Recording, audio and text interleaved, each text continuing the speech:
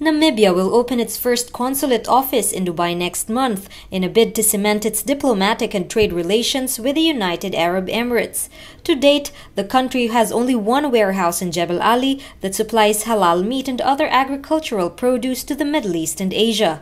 A halal abattoir is also in construction in Dubai to enable the slaughter of Namibian livestock according to Islamic law. It is hoped that with the opening of the consulate, more businesses from the African country will set up and thrive in this part of the world. We communicate, and then she sent a special representative who came to our investment center, well attended one.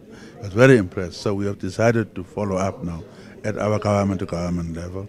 We are very hopeful that our date project will catch up and that way other investors will know Namibia is a safe place to invest in.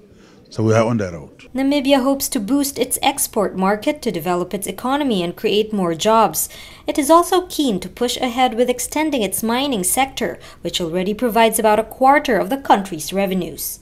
The Namibian Trade Ministry is looking for new markets for its goods and services and has so far seen tremendous opportunities in Dubai and the entire Middle East region.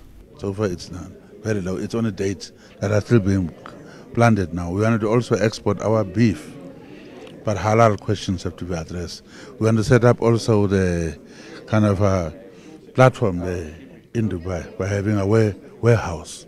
So our business people can warehouse there and then penetrate the Middle Eastern uh, world. That's why we're opening our office now. That's the first step. Most important step is we are opening now our office in Dubai. That is going to change all our relationships. Thank you very much, Mr. Minister. Moreover, the minister said his government aims to attract further investment to increase exploration projects for diamonds, gold, and other resources found in the country. With Joyce and Jerry, Zeena Zalamea, Alrroya.com, Windhoek.